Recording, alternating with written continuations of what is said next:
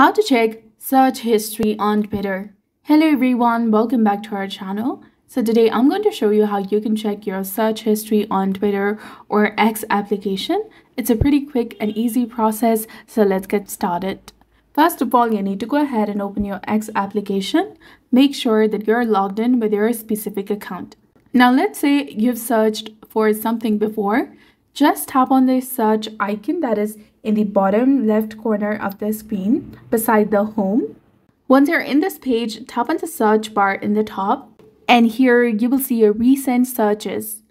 Here I search for Isabel.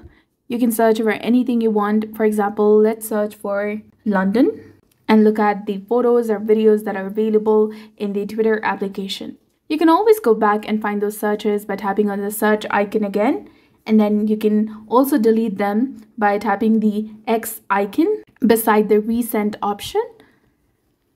However, there is another place to check if you don't see your searches listed over here. Tap on the home in the bottom of the screen. And then after, you need to go ahead and tap on your profile icon in the top left corner of the screen. On this page, open settings and support. Now go to settings and privacy.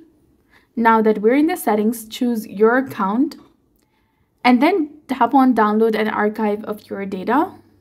You'll probably have to log in into your account again. And all you have to do is request archive over there and it will include all of your information, your tweets, your watch history, search history, videos, photos, anything.